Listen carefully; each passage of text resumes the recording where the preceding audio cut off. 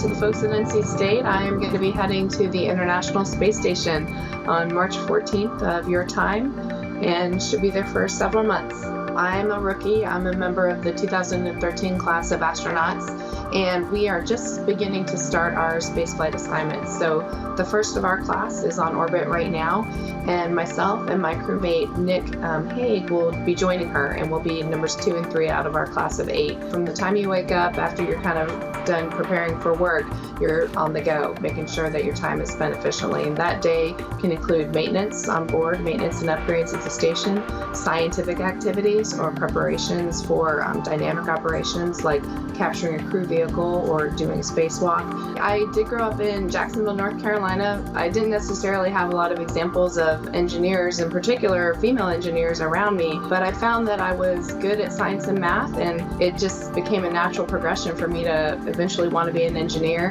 And um, that basically, you know, brought me to wanting to go to the School of Science and Math in North Carolina for high school and eventually to NC State.